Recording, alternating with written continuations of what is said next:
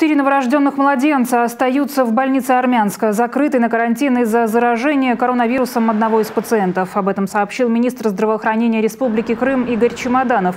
По его словам, все 57 медицинских работников, а также 67 пациентов, в том числе 10 роженец, находятся непосредственно в больнице. Само здание переведено в ранг обсерватора.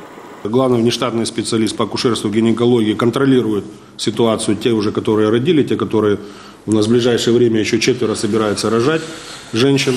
Поэтому в случае, ну, не дай бог, пока все идет в плановом порядке, если э, будут какие-то проблемы, сразу будет наша бригада санитарной авиации, доставленный в том числе и главный внештатный специалист э, для рода разрешения либо еще для, для консультации. Министр уточнил, что ведомство направило деньги на питание сотрудников. Продукты в больницу доставляют по договору аутсорсинга. Также чиновникам удалось найти фирму, которая согласилась провести тотальную дезинфекцию медицинского учреждения. Мы прекратили прием всех больных э, города Армянска.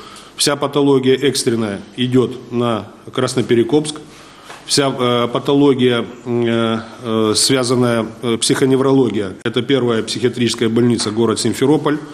Э, роженицы у нас уходят на Джанкой. А на сегодняшний день э, Роспотребнадзор проводит учения непосредственно в обсерваторе, на основании которых наши сотрудники обязаны их выполнять.